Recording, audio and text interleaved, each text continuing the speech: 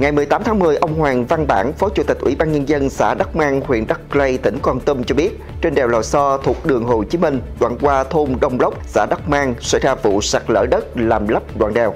Theo đó, những ngày qua trên địa bàn liên tục mưa nhiều, vào khoảng 15 giờ 30 phút cùng ngày, ta luy dương trên đèo Lò So bị sạt lở làm đất đá tràn xuống đường. Vụ việc không gây thương vong về người nhưng đã lắp một đoạn đèo dài khoảng 30 đến 50 mét. Khối lượng đất đá bị sạt lở ước tính khoảng 500 mét khối. Vụ sạt lở khiến giao thông qua lại giữa hai tỉnh Con Tum và Quảng Nam bị chia cắt, dòng xe nối đuôi nhau kéo dài khoảng 2 km.